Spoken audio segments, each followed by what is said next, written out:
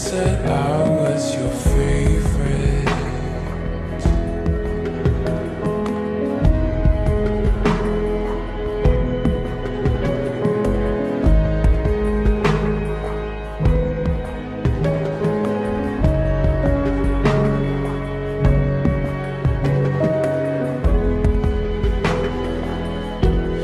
To kiss and call